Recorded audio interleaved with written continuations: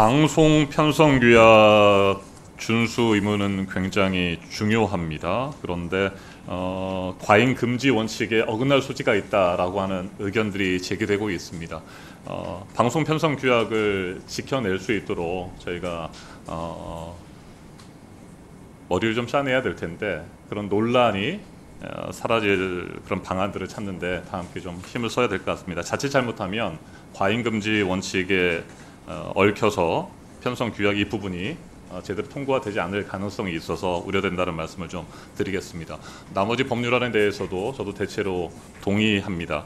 어, 저는 오늘 어, 위원장님께서 말씀하시고 이혜민 의원님께서 말씀하신 부분에 대해서도 저도 한 말씀 드리려고 합니다. 국민의 의원들을 향해서 말씀드리고 싶은 것이 있어서 발언 기회를 신청했습니다. 서울 광진갑의 국회의원 이정원입니다. 많은 국민께서 지금 나라가 위기인데 국회의원들이 무엇 하느냐 이렇게 묻고 계십니다. 국회에 대한 국민의 신뢰도는 2023년 기준 24.7%로 대한민국 정부 기관 중 꼴찌였습니다. 뽑아줬으면 열심히 일해야 하는데 할 일을 제대로 하지 않기 때문입니다. 새 학기가 시작됐습니다. 그런데 학생들이 학교에 나오지를 않습니다. 그러면 어떻게 됩니까? 선생님께, 부모님께 혼나야 합니다. 국민의힘 의원들을 뽑은 것은 우리 국민입니다.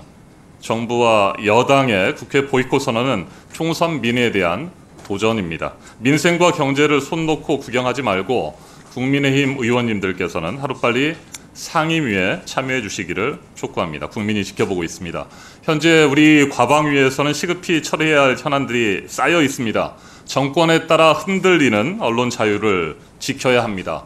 보수가 집권하든 진보가 집권하든 권력이 아니라 국민의 편에 서는 언론 환경을 기필코 만들어야 합니다.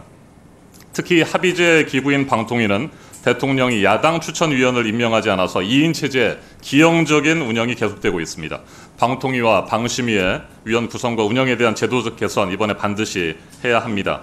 과학기술 강국의 초석도 닦아야 합니다. 저는 요즘 매일 걱정으로 밤잠을 설치곤 합니다. AI 시대 반도체 패권이 대만으로 넘어간다는 소식이 들리고 있습니다. 일본에서는 우리 기업의 기술 주권을 옥죄려 하고 있습니다. 미국은 전기차와 배터리 등 자국 기업 지원에 박차를 가하고 있습니다.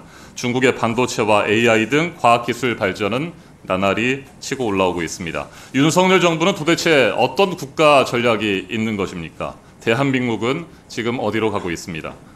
가고 있습니까? 시간을 허투루 보낼 수가 없습니다. 과기부 등 관계부처 기관장들 오는 18일 전체 회의에 반드시 참석해서 국민 앞에 국정 계획과 비전을 상세히 밝혀 주십시오. 특히 오늘 안건으로 다뤄진 방송 사법, 자유롭고 책임 있는 언론 개혁으로 나아갈 첫걸음입니다.